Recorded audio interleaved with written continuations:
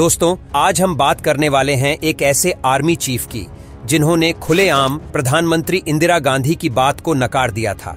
जिसके बाद इंदिरा गांधी आग बबूला हो गई थी। यह बात 1971 की है, जब पाकिस्तान ने अपने प्रांत पूर्वी पाकिस्तान पर कब्जा कर लिया था, जिसके बाद हज़ारों शरणार्थियों ने भारत की ओर रुख किया। परिस्थितियों को देखते हुए उस वक्त मौजूदा प्राइम मिनिस्टर इंदिरा गांधी ने 10 बजे कैबिनेट की बैठक बुलाई। इस बैठक में विदेश मंत्री सरदार स्वर्ण सिंह, रक्षा मंत्री जगजीवन राम, कृषि मंत्री फारूक अहमद वित्त मंत्री यशवंत राव और army chief Sam Manekshaw उपस्थित थे। इस वक्त पूर्व प्रधानमंत्री इंदिरा गांधी बेहद परेशान थी। उन्होंने बंगाल, असम और त्रिपुरा के मुख्यमंत्री के संदेश पढ़े, जो कि उनसे अर्जी लगा रहे थे कि लाखों शरणार्थी उनके राज्यों में घुस आए हैं और उन्हें नहीं पता है कि क्या करना है। ऐसे में इंदिरा गांधी ने सैम बहादुर से कहा कि मैं चाहती हूँ कि आप कुछ करें। मैं चाहती हूँ कि आप पूर्वी पाकिस्तान में प्रवेश करें।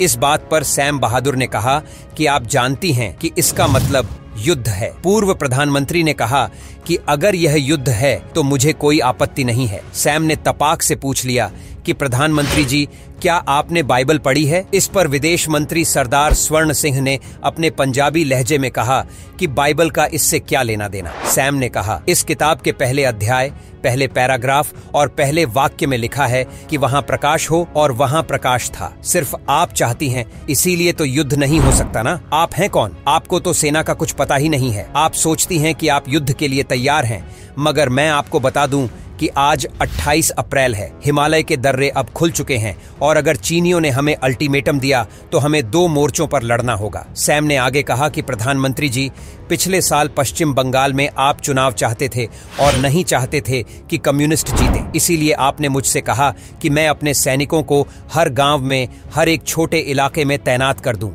इस प्रकार मेरे पास दो डिवीज़न हैं, जो अपने हथियारों के बिना सेक्शनों और प्लाटूनों में तैनात हैं। उन्हें उनकी यूनिट तक वापस लाने में मुझे कम से कम एक महीना लगेगा। इसके अलावा असम में एक डिवीज़न, आंध्र प्रदेश में एक डिवीज़न और झांसी बबीना क्षेत्र में बख्तरबंद डिवीज़न। उन्हें वापस लाने और सही पोजीशन बनाने में मुझे कम से कम एक महीना लगेगा। उनके ट्रांसफ़र के लिए मुझे हर सड़क, हर ट्रेन, ट्रक वैगन की आवश्यकता होगी। जान लें कि पंजाब, हरियाणा और उत्तर प्रदेश में फ़सल की कटाई हो रही है। इसके बाद सैम ने कृषि मंत्री फारूक अहमद से पूछा, अगर इसके बाद देश में अकाल पड़ता है तो इसके लिए आप दोषी होंगे, मैं नहीं। सैम ने फिर कहा, मेरे बख्तरबंद डिवीज़न के पास केवल तेरह जैक हैं। इस बात पर वित्त मंत्री यशवंत राव ने सवाल किया, सैम, केवल तेरह ही क्यों? सैम ने जवाब दिया, क्योंकि आप वित्त मंत्री हैं। मैं पिछले डेढ़ साल से आपसे पैसे मांग रहा हूँ और आप कहते हैं कि पैसे नहीं है। इसी कारण से हमने आगे कहा कि प्रधानमंत्री जी अप्रैल का अंत है। जब तक हम लोग ऑपरेशन के लिए तैयार होंगे, तब तक पूर्वी पाकिस्तान क्षेत्र में मनसून आ चुका होगा। जब बारिश होती है तो सिर्फ़ बारिश नहीं होती, नदियाँ सागर जैसी हो जाती हैं। आप एक किनारे पर खड़े होकर दूसरे किनारे को नहीं देख सकते। मेरा आक्रमण सड़कों तक ही सीमित रहेगा। वायुसेना भी हमारा सहयोग नहीं कर पाएगी। अगर आप चाहती हैं कि मैं पूर्वी पाकिस्तान में प्रवेश करूँ तो मैं आपको 100 प्रतिशत हार की गारंटी देता हूँ। इसके बाद सैम ने दो टूक से पूछा कि आप सरकार हैं, क्या आप मुझे अपना आदेश देंगी? अपने इंटरव्यू में बात करते हुए सैम ने बताया कि मैंने शायद ही कभी किसी महिला को इतना क्रोधित होते हुए देखा होगा। पूर्व प्रधानमंत्री इंदिरा गांधी का चेहरा पूरी तरीके से लाल हो गया था। उन्होंने पलटकर कहा कि शाम को चार बजे कैबिनेट की बैठक होगी। इसके बाद सैम ने तय कर लिया था कि प्रधानमंत्री उनसे उनका इस्तीफा मांग लेंगे। लेकिन शायद सैम हर चीज़ को लेकर इतने सटीक थे कि पूर्व प्रधानमंत्री इंदिरा गांधी के पास भी कोई और दूसरा विकल्प नहीं था। आखिरकार इंदिरा गांधी ने सैम मानेक शॉ की बात मान ली और उनसे दूसरी रणनीति बनाने के लिए कहा। इसके बाद जब पूरी तैयारी के साथ आक्रमण किया गया तो इतिहास रच गया। साल 1971 में जब युद्ध का आगाज़ हुआ तो यह युद्ध केवल 12 दिन, यानी कि 4 से 16 दिसंबर तक चला।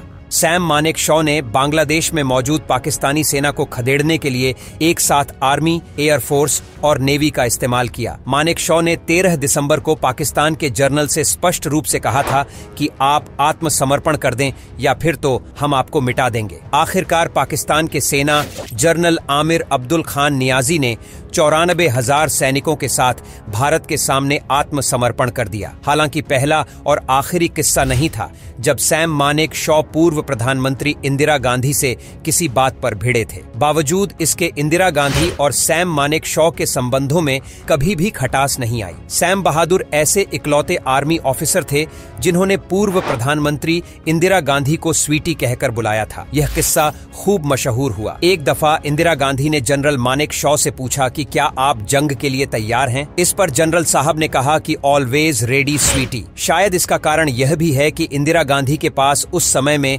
सैम मानेक शॉ का कोई विकल्प मौजूद ही नहीं था। देश की रक्षा करते हुए सैम बहादुर ने कई बार दुश्मनों की गोलियों को अपने सीने पर लिया। बावजूद इसके उनके हौसलों में रत्ती भर भी फ़र्क नहीं आया। सैम बहादुर देश के आठवें चीफ ऑफ़ आर्मी थे और अगर उन्हें देश का सबसे दिलेर आर्मी चीफ कहा जाए तो शायद ही इस बात पर किसी को आपत्ति हो। फ़िलहाल, सैम मानेक शॉ की ज़िंदगी पर आधारित विक्की कौशल ने एक फ़िल्म बनाई है, जिसने सोशल मीडिया पर मेला लूट लिया है। आपको आर्मी चीफ की सच्ची कहानी कैसी लगी, कमेंट करके ज़रूर बताएँ। साथ ही ऐसे और वीडियोस के लिए मुझे फॉलो करना ना भूलें। जल्द ही फिर मुलाकात होगी एक नए वीडियो में। तब तक के लिए नमस्कार।